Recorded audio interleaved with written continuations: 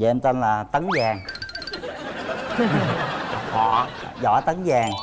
Cái võ tấn vàng luôn. Dạ. võ tấn vàng bao nhiêu tuổi? Dạ em năm nay 25 tuổi. Làm nghề gì? Em làm bên à, khuôn in ấn bao bì á anh. Bây giờ chúng ta mời bạn nữ bước ra sân khấu. Dạ. Em chào chị Cát Tường, chào anh Hoàng Linh và chào mọi người ở đây ạ. à, Chào bạn. bạn tự giới thiệu về mình. Dạ, em tên là Luyến, 24 tuổi, đang làm kế toán ở quận 7. sở thích của bạn là gì? Dạ, sở thích của em thì à, thích đi làm những cái à, công việc mà có thu nhập thêm vào cuối tuần Giống như là đi làm à, phục vụ tiệc cưới thôi chị. À Dạ, vậy dạ. hả? Giỏi quá ta. Tại vì công việc đó làm từ thời sinh viên tới giờ chị. Còn à, thời gian mà rảnh rỗi thì hay à, đi phượt những cái tỉnh miền Tây gần gần ở đây. À, nói về một chút xíu về cái điểm mạnh của mình. À, em bản thân em thì à, dễ sống dễ thích nghi lắm. Ăn uống cũng dễ rồi sống môi trường nào cũng có thể sống và làm việc được hết. Vậy thì mình cũng có những cái yếu điểm yếu nào thôi mình cũng phơi bài ra luôn. À, điểm yếu của em á, nói nhiều. Ví dụ không thích gì cái đó là cứ nói thẳng nói sổ nói sàng ra là có nhiều người thì không hiểu tính lắm thì người ta không thích. Thứ hai nữa thì rất là tin người. Người ta nói sao mình có thể tin tin vậy đó. Bạn là quê ở đâu bạn? Dạ quê em ở phú yên anh quyền linh ơi. Phú yên hả? Bạn Dạ. vào thành phố hồ chí minh lâu chưa? Dạ em vô được gần 7 năm rồi gần 7 năm rồi. Dạ. bạn trai? Dạ em quê bến tre. Bến tre. Bạn lên thành phố hồ chí minh lâu chưa? Dạ em lên khoảng à, 7 năm. Cũng 7 năm luôn. Bảy năm vậy luôn. hai người hẹn nhau lên lượt á. Như vậy thì từ bến tre đến phú yên nó hơi xa đó bạn trai. Bạn thấy làm sao? Thường người ta nói câu là yêu nhau mấy núi cũng leo mà bao giờ tới phú yên chưa? Dạ chưa. Chưa hả? Dạ. Nếu mà có cơ hội thì em sẵn sàng về. Bạn gái bạn thích đi về bến tre không dạ bến tre em có nhiều bạn lắm anh. Em về bến tre được nhiều lần lắm. Nhiều lần mà chưa gặp anh Dạ. tấn vàng đúng không? Chắc anh này trốn kỹ. Vàng phải có kỹ chứ em. Để hở người ta chộp ta chộp đâu có được. Đó giờ có người yêu chưa? Ba năm trước em có một mối tình. Quen khoảng thời gian khoảng cách một năm thấy không hợp chia tay. Không hợp ai chủ động chia tay? Hình như là chắc hai bên cảm thấy là tự nói với nhau rồi chia tay. Có cãi nhau gì to tát lắm không? Cũng cãi cãi mà cũng nhỏ nhỏ nhẹ nhẹ thôi. Ai cãi nhiều nhất nói chung là hai bên đều đều hết anh. Đều hết. Dạ. Bạn có bao nhiêu mối tình rồi? Nói về tình yêu thì em có một. Nghĩ lý do tại sao mình không tìm được bạn trai tại vì chị thấy em rất là dễ thương. Cái môi trường kế toán của em á thì à, trai thì ít không có nhiều. Còn cái môi trường mà em đi làm thêm mấy chỗ kia thì gặp đa số làm chung với những em nhỏ hơn thôi. Em thì thích à, những người trưởng chạc hơn em một chút. Cái mẫu người đàn ông mà bạn thích là mẫu người như thế nào thứ nhất là phải phải men là đàn ông thật sự nha chứ nhìn bề ngoài mà men xấu muốn mà ở trong là không phải men là cũng không ổn để tóc bình thường thôi không mà uống rồi nhìn dũi thứ này thứ kia. Nhìn sao biết chuẩn men mà không chuẩn men bạn đâu mà em, em cần là cái người đó là thật sự là đàn ông á anh. Nhiều khi có nhiều người nhìn man lắm nhưng mà thiệt sự trong cũng không có man lắm. Bạn nhìn thấy anh linh là men không? Anh linh có vợ có con với lại nhìn vậy là em nghĩ là chắc là man rồi đó chị. Chưa chắc vợ có con chưa? Chắc là nhà. Bây giờ cô gái bên kia có những cái yêu cầu như vậy bạn có thể đáp ứng được không? Mình đáp ứng được anh. Đáp ứng được. Đáp bạn ứng à, sao? Bây giờ làm sao chứng minh là mình men? Nói chung là thì nếu mà có cơ hội à, để um, để tìm hiểu thêm thì em sẽ chứng minh được. Bây giờ chứng minh liền tôi tôi phải kiểm chứng tôi phải coi thấy men tôi mới làm mai. Đó người ta đưa ra yêu cầu vậy. Là vậy em làm sao? Không biết mà làm sao mà em men. Đó nhiều khi em ngại đông người được đâu có sao đâu mình men là mình không có ngại gì trơn á. Mình ẹo ẹo vậy là là mình mới nghi ngờ đó. Có gì cứ nói ra hết đi. Đúng rồi đó giống như anh quyền linh vậy là men mới đi. men đó. Chứng minh bằng cách nào đây?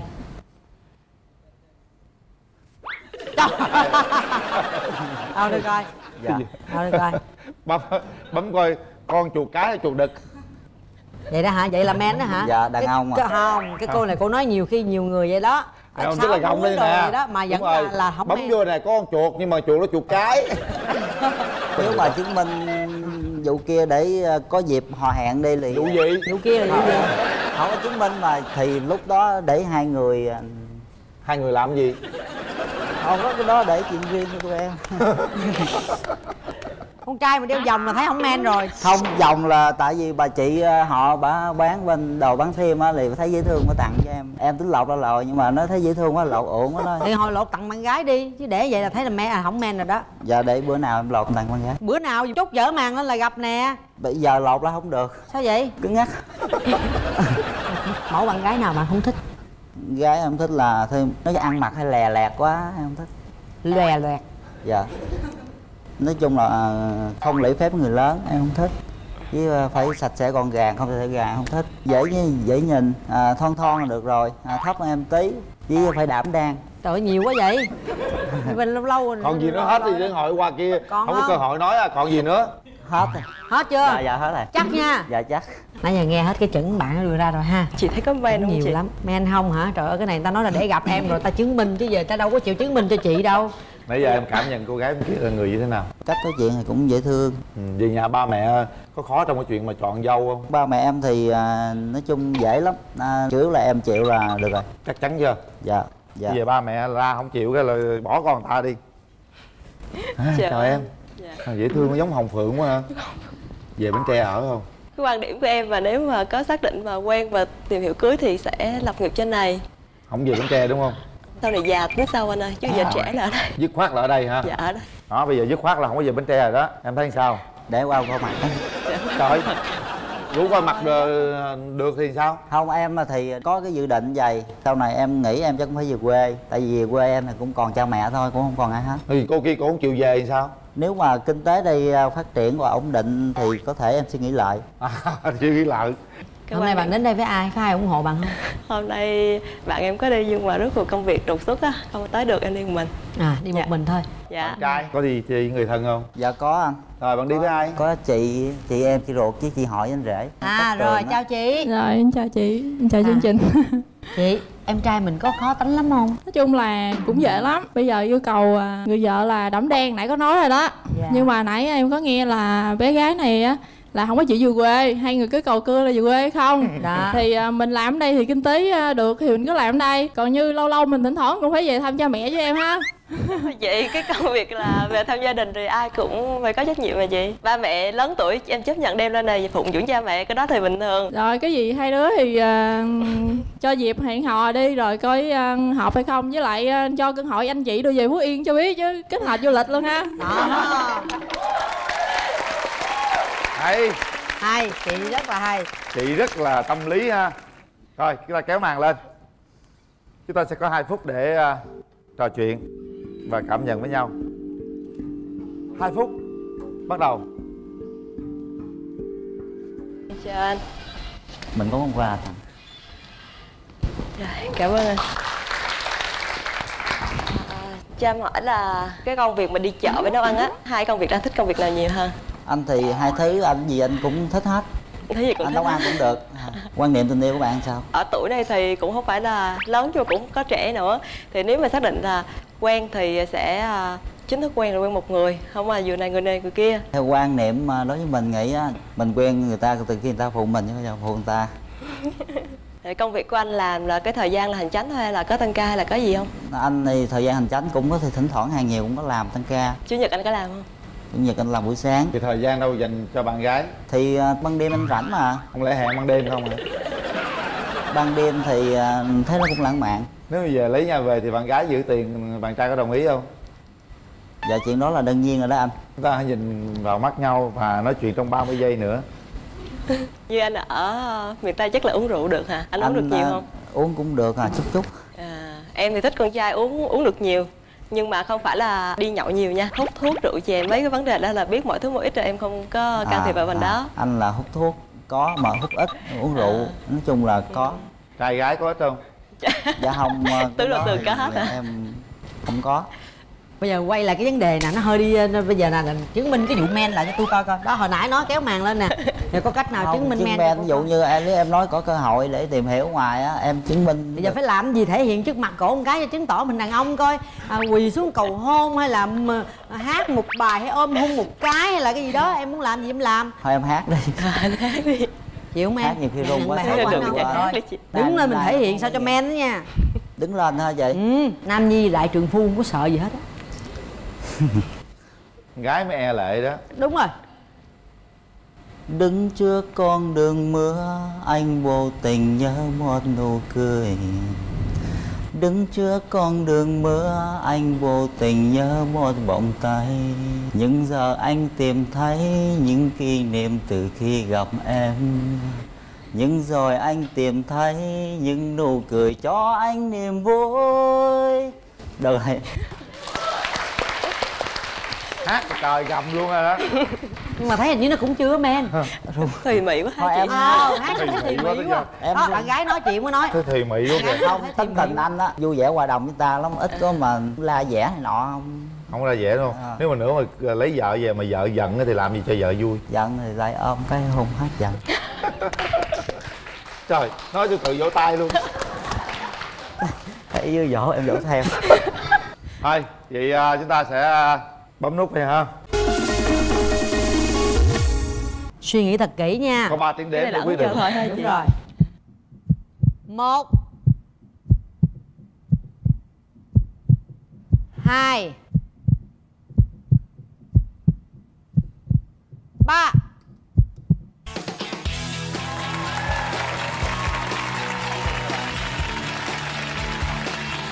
như vậy là chúng ta đã đồng ý hẹn hò với nhau. Một cái giỏ hoa rất là đẹp và một cặp vé xem phim. Tôi nghĩ rằng cũng à, rất là tốt để các bạn sẽ tìm hiểu với nhau nhiều hơn nữa. Bến tre phú yên kết lại gần với nhau. Nắm tay nhau cái đi. Cái gì vậy?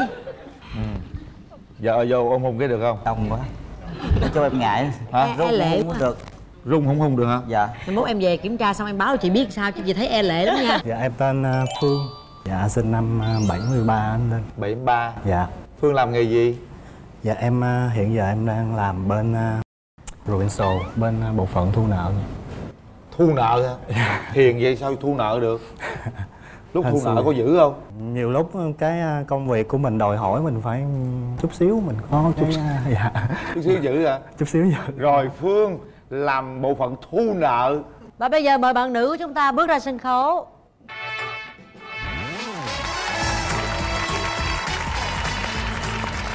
rồi tự giới thiệu về mình Em tên là Phượng, năm nay em 37 tuổi. Em ờ, đang làm công ty dệt may thắng lợi chị. Sở trường của em á là em vui vẻ, hoạt bát. Em thích đi du lịch. Khuyết điểm của em á là em không biết nấu ăn. ừ. vậy hiện nay mình đang ở với ai em ở với mẹ và em vậy trai. là rồi mẹ nấu ăn không là hả ai nấu ăn cho mình Mẹ đôi lúc em cũng có dấu bếp nữa. Đó bạn ờ, có quen được bao nhiêu người rồi? Mình không có nhớ anh nhưng mà nhiều quá không nhớ luôn. Không, không, không, không phải tại vì à, nó độ cũng khoảng chừng một hai người gì thôi à. Chắc mình cũng hơi khó hay sao á. Anh khó vấn đề gì? Bản chất của mình từ nhỏ đến lớn nó hơi cẩn thận, nó tỉ mỉ, nó cầu kỳ.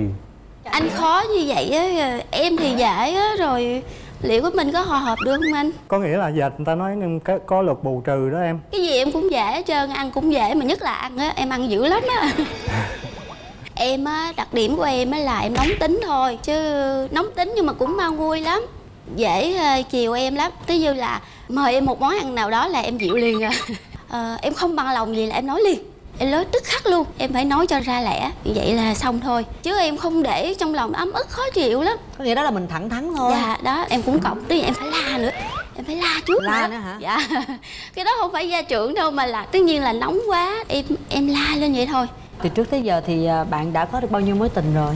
Em chỉ có một thôi. Có một là thôi. thời đi học á. Thật sự 37 tuổi là à, đã, Tuổi đã, không đã nhỏ lớn rồi thật dạ. sự là quá là quá lớn để mà chưa lập gia đình. Dạ. Thì à, lý do gì mình có tìm hiểu cái nguyên nhân không? Con trai em ta thích ờ, phụ nữ dịu dàng ngọt ngào nhưng mà không.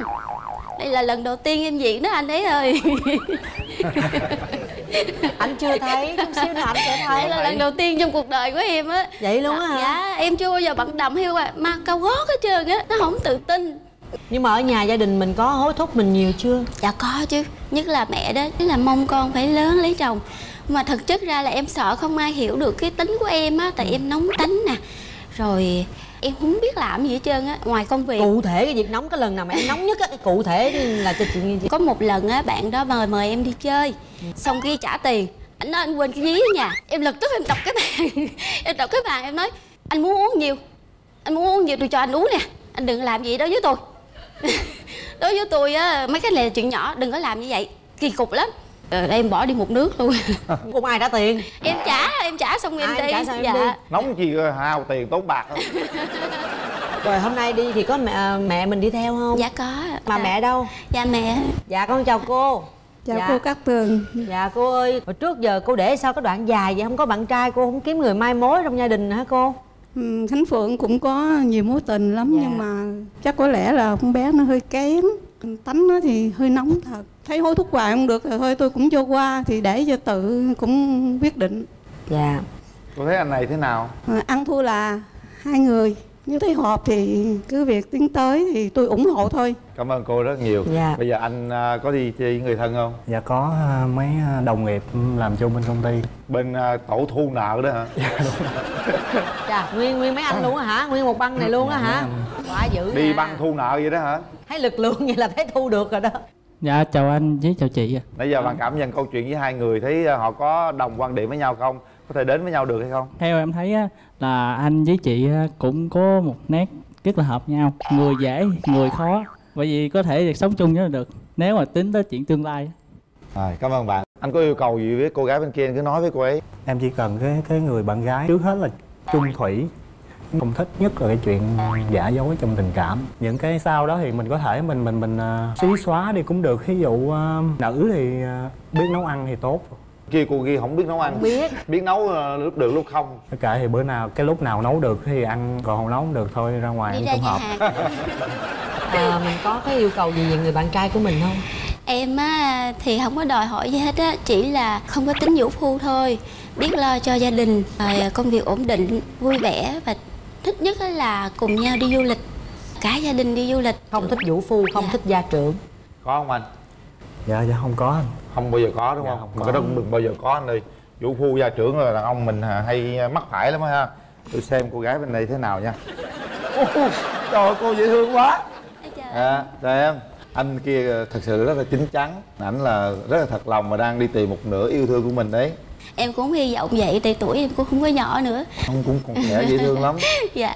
Bây giờ nghe anh bên kia nói có cảm nhận được gì không? Em thấy anh cũng hiền. À, thật thà còn tốt bụng hay không thì em chưa biết không tốt bụng nhưng hơi hơi hơi đòi nợ tại vì đâu đội nợ là không có tốt rồi thu nợ mà nói vậy thôi đó là thu nợ công thôi. việc thôi Dạ. tới cũng đưa giấy tờ văn bản thôi chứ đâu có Còn là tao không nợ đưa. tôi trả nợ tôi đâu phải vậy ha bộ phận thu nợ dạ dễ thương À, thật ra là như thế này, cái vụ nóng tính nó bớt bớt chút xíu. Bớt Nè đây cũng chị. nóng tính lắm mà mình phải bớt chút xíu. Dạ. Nam người ta thích ờ, cái gì đó gọi là yểu điệu thục nữ thì quân tử mới hiếu cầu. dạ Nha. dạ dạ em chào chị các tư Dạ chào anh. Anh hứa là không có vũ phu nha. dạ hứa. Không có gia trưởng nha. Dạ. Có gì mình trao đổi với nhau thôi, nam nữ bình đẳng anh nha. dạ. Cho em hỏi câu tế nhị tí. Bây giờ thí dụ như mình à, mình kéo màn lên rồi mình kết hợp mình à, hẹn hò với nhau được á Dạ. mà hợp nhau á thì khoảng bao lâu thì anh à, đám cưới được? Có lẽ chắc cũng một thời gian ngắn chị ví dụ khoảng vài tháng. Để tìm hiểu thêm. Thôi vậy nói chung là nền tảng là cũng được anh ha. Dạ có cái móng rồi. Có cái móng rồi. Dạ. Dạ em bên nghĩ kia chắc chỉ lo cái vụ mà thu nợ thôi em nghĩ chắc là được anh có thể diễn tả Dạ chuyện được. công việc của anh thu nợ là sao nhiệm vụ của anh là sao ví dụ giờ anh đóng tôi đóng vai cái người mà đang thiếu nợ công ty anh đi anh Dạ. xuống anh đòi đi anh nói sao À, dạ thưa à, anh anh An B gì đó thì à, em bên công ty tài chính Runsol thì em xuống đây để à, nhắc về cái số nợ của anh hiện nay là 4 tháng. tôi biết rồi nhưng mà tôi không có tiền trả Dạ thì bây giờ anh cố gắng anh thu xếp hoặc anh có thể anh cho em biết về cái tình hình kinh tế của mình tình hình giờ kẹt nào. lắm rồi cụ thể giờ không có đồng nào để đóng hết trơn á em sẽ nhờ đến bên à, giờ ông làm gì làm đi giờ ông làm gì bây giờ em à, nếu mà anh nói vậy em sẽ nhờ bên à, công an địa phương của mình hỗ trợ để cho bên công ty em thu Rồi, hồi xong. cái số nợ này. tôi có gì đâu thu À, em mời anh lên bên công an khu Tôi vực không lên. địa phương. Nếu vậy á em gặp những khách hàng vậy á thì em sẽ về em báo cáo lại với công ty. à rồi xong vậy hiền khô à. Em ơi hiền khô à. nghe nó thu nợ dữ dội chứ nó giờ thấy hiền khô nợ à? mà không dám gì hết trơn sao Ừ. rồi kéo màn lên. Cố gắng chị nha. Chúng ta có 2 phút. Nãy giờ tôi thử đóng kịch vậy coi anh hiền anh giữ thế nào đó. Không có không có giữ. Yên tâm nhé chào anh ạ. Anh có vâng em cảm ơn anh anh là là ở thành phố hay là ở quê ạ? à nhà anh ở ờ, gò dấp à, em ở đâu? Hồi nãy em ở quận 12 ạ. Gò dấp hai Gần nhau. Hồi nãy em có nói rồi hồi đó giờ á thì à, em chỉ mặc quần jean với áo buôn thôi không? Dạ, đúng giờ rồi, lần đầu là- tiên mình à, em vì anh Đầm. mà em diện chứ em chưa bao giờ diện.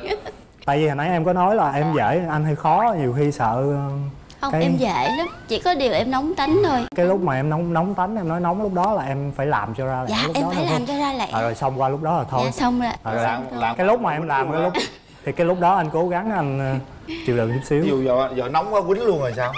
Quýnh thì kệ cho quýnh luôn. Ờ được. Mà đâu dám đánh lại cái lúc mà em nóng á, thì em cứ cứ việc em nói thì anh sẽ cố gắng anh chịu đựng cho qua cái lúc đó.